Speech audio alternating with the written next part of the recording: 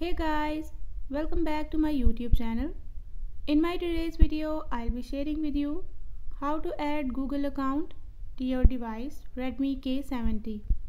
But before we talk about that, if you are new to my channel, don't forget to hit the red subscribe button and the bell icon so you won't miss any of my updates. Now watch this complete video.